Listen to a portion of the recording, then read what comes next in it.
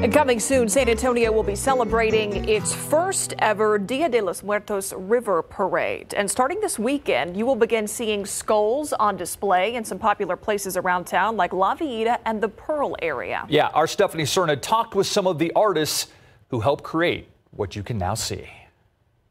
I had this interest in covering the whole thing in mirrors, but uh, it wasn't going to be practical for the scale of it. Andy Benavides sharing with us today what his initial thoughts had been for his piece titled Regalo, which means gift. On many levels was uh, a gift to the ancestral memories as well as a literal gift to my city. A team of eight local artists have been working on these life-size fiberglass skulls, which are brought in from Mexico. Each artist has their own take on the project's theme, which is celebration of life. Sort of took me back to like my grandmother's backyard, where she was just a collector of things. And whether it was there or not, I remembered a tile covered skull.